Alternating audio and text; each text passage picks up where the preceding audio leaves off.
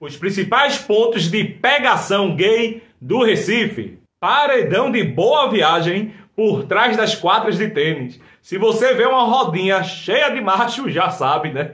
Principalmente no dia da parada, depois que ela acaba. Nos banheiros das integrações.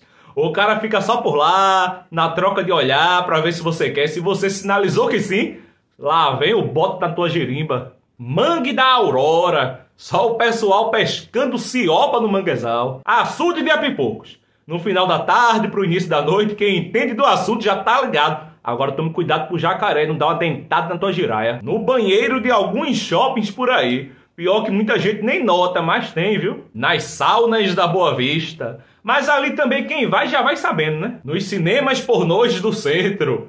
Agora se ilude, entra lá achando que vai aparecer uma mulher, vai aparecer uma mão peluda pegando teus possuídos. Antiga Fan Fashion nos anos 2000, um encontro dia de sexta, aquela rua do lado do Shopping Boa Vista. Lá ninguém era de ninguém. Banheiro da Dantas Barreto. Mas rapaz, tinha um lugar mais limpinho não, é? Janga, mais conhecido pelo pessoal da pegação como Janguei. Eu sei que não é Recife, mas tudo bem. Ali perto da ponte do Janga, indo para dentro do mangue, as panteras sempre às espreitas esperando as suas presas.